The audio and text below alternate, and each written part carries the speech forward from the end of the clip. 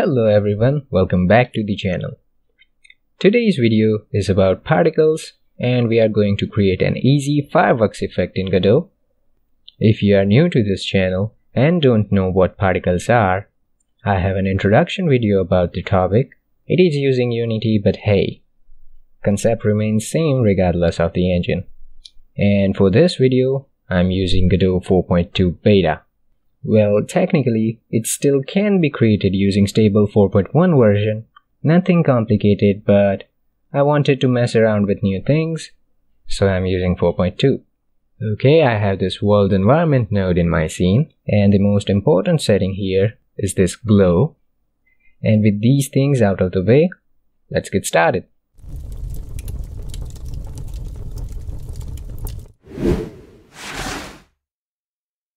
First, let's add a particle node in our scene.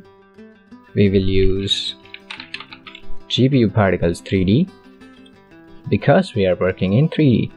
And if you have seen that there is also CPU Particles 3D node and wondering why we are not using it, well, it was created to work on older devices without dedicated GPU support. And they are getting deprecated, so you all should use GPU particles going forward. Okay, I'm going to call this node rocket particles. We have this nice node, but notice that we have a warning and if we click on it, it will tell us why there are no particles on the screen. We are missing two things here. First is a draw pass. We haven't tell Godot what to draw on screen. So let's go to draw passes in the inspector and in pass 1, let's assign a mesh to draw. Let's select ribbon trail mesh it is a 2D trail mesh. Once selected, if you click on it, we have options to adjust our mesh. Now first, let's create a material for our mesh. So, create new resource and select standard material 3D. I will call it fireworks and I like to keep the extension dot material. Let's configure our material First we will go to transparency section, set transparency to alpha. We want our material to be transparent. Blend mode to add and cull mode to disabled. We want to draw both front and back faces. Then in shading section, select the shading mode to unshaded. We don't want it to interact with lights. In vertex color section, check use as albedo. This one is important because otherwise we can't override the colors from our particle node. And also check is sRGB because fireworks or let's say sparks are glowing things and it renders best in sRGB color space. In albedo section, keep the color white. For texture, let's select gradient texture 2D it will give us this nice little gradient. Let's make it vertical like this. We can fine tune it in fill section. Select fill mode to radial. Check use HDR and flip the gradient. Then check texture force sRGB. Again because glowing things use HDR and sRGB. Then we will go all the way down to transform section and check use particle trails. This is important because otherwise we won't be able to render the trails. Now let's go back to our particle nodes ribbon mesh settings. Assign our newly created material. Set the shape to flat. Just a quad.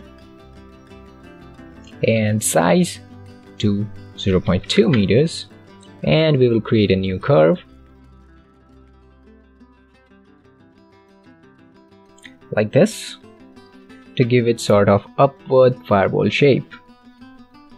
Now we have solved one warning for draw passes, but one still remains about the process material. Process material tells Godot that how we want to configure our particles, how to spawn them, update them, etc. So in the process material, select new particle process material. And now our particle starts falling. It looks weird, but the warnings are gone. Now let's go to amount. This is the total amount of particles that our node is allowed to have. It won't ever exceed this amount. Let's set it to 2. In the time section, let's set the lifetime to 4 seconds. Lifetime is a duration each particle is allowed to be rendered. Then set fixed FPS to 60. Then we are not going to change anything in draw section but this visibility box is this box and our particles will only render if our camera can see this box. I'm not going to touch this but you will probably have to depending on your scene.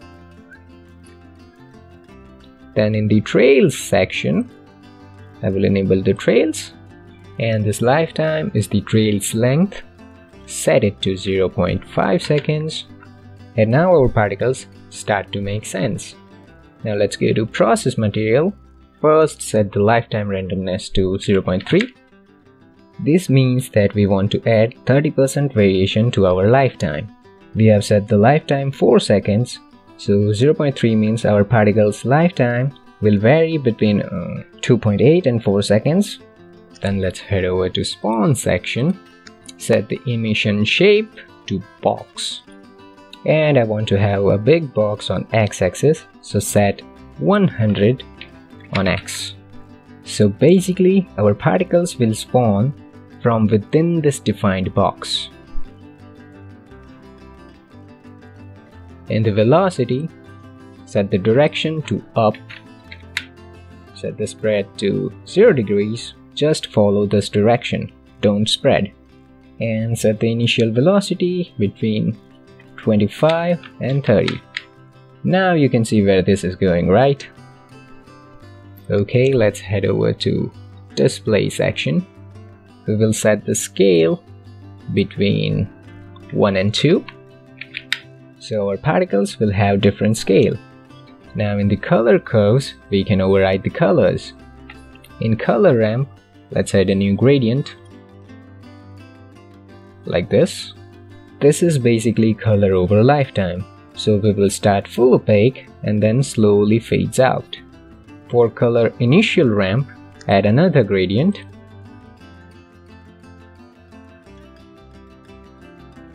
This will be the random color palette for our particles.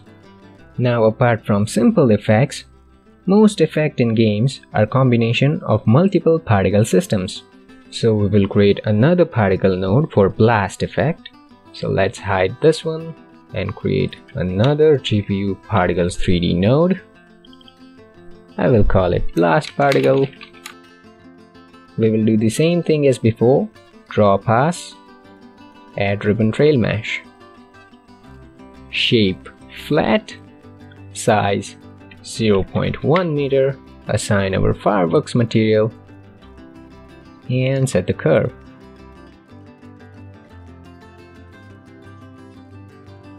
like this. Create new process material, enable trails, set the lifetime to 0.6 seconds, then set the amount to 30. In time section, set the lifetime to 2 seconds, set the explosiveness to 1. Explosiveness is pretty self-explanatory. If it is set to 0, particles will emit continuously 1 means emit all 30 particles at once. Then set fixed FPS to 60. In process material, set the lifetime randomness to 0.8. In spawn section, we will set velocity direction to up, spread to 180 degrees, and initial velocity between 15 and 20. Now our particles start to make some sense. Let's go to display section. Set the scale between 4 and 6. In color curves, we want to fade our particles. So set the color ramp, we will add the gradient which goes from white to black.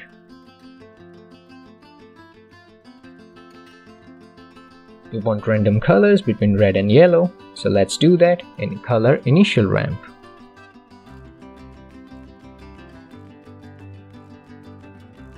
In hue variation, let's add a variation between minus 0.1 and 0.2. It will randomly shift the hues of our particles between these values. And our blast effect is done. But we want to emit them when our rocket particles die. So let's select rocket particles. In the sub-emitter slot, we will assign our blast particles. Finally, in the process material, go to sub-emitter section, set the mode to at end. Basically, we are telling Godot to emit our blast particles when our individual rocket particle dies. Then this amount at the end is how many we want to emit. Let's set it to 32. It is the max value. Now it looks pretty cool, but if I set the rocket amount to some high value, we can see that sometimes it emits very few particles or none at all, especially when multiple rocket particles die at the same time. The reason is we have set the amount for our blast particle to 30, so it won't exceed that limit, so let's increase the amount to some bigger number. Pretty cool! Finally, let's add the sparks particles that emit with our blast particles. Let's create another GPU particles 3D node. I will call it sparks particle. Let's also create a new material for our sparks. I will duplicate the fireworks material and call it sparks material. Only thing we want to change in sparks material is in the albedo section, we want to flip the gradient texture. Whenever you duplicate something, one thing to keep in mind is, in Godot, resources are shared. So this gradient texture is a resource, so if I would change it, it will reflect in fireworks material as well.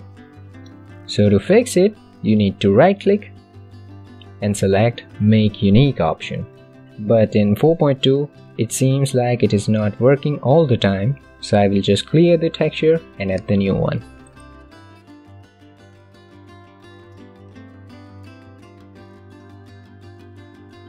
For our sparks particles, let's add a draw pass, this time with tube trail mesh. It is basically 3D trail. I'm using it because it looks better for sparks effect.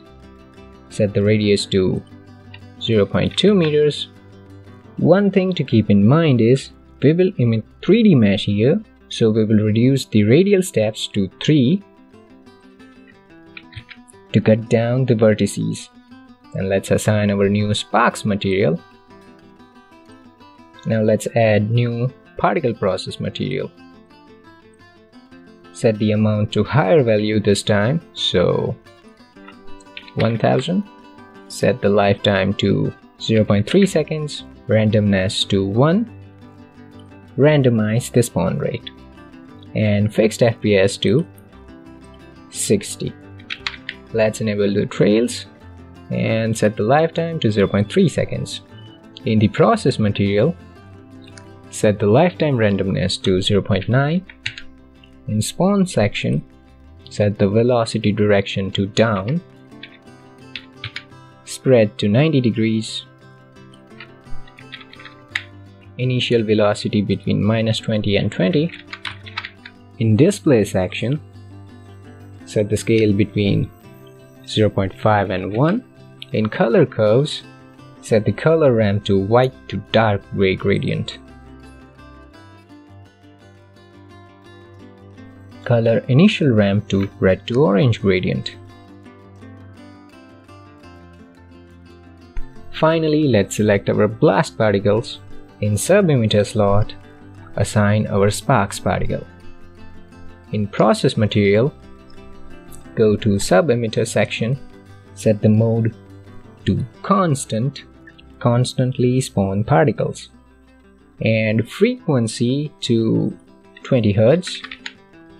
Essentially, it means spawn 20 particles per second. And finally, we have our fireworks effect. That's pretty much the video. If you find the video helpful, consider like, share and subscribe. wishlist my game Cosmic Roads on Steam. If you have any questions, post them in the comments. Happy Diwali to everyone who celebrates. That's it from me, and I will see you guys in the next one.